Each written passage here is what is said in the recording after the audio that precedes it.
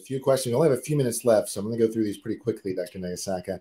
Uh, there's one that, that we do want to remind people that ceritinib is not something we recommend after crizotinib or entrectinib. Um, that you know, cabozantinib was one that that showed some promise, but I don't know if that's a strong recommendation. We really want to try to get to a trial with the new ROS1 inhibitors um, or chemotherapy, also a very good option in that setting. Um, but uh, a question here at what points do opportunities for biomarker retesting arise to find out if there's been a change in the cancer?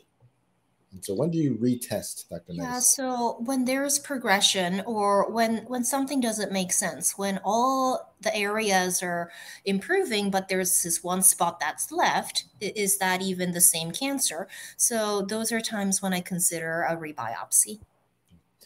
Um, and this can be through liquid as well. Uh, and so I think that we're generally reserving it for at the time of, of progression or some growth, some sign that the cancer's evolved in some way.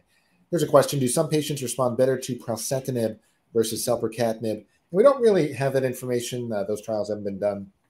I find that the response rates to both are very high. Um, I think the drugs are, are much more similar um, than different.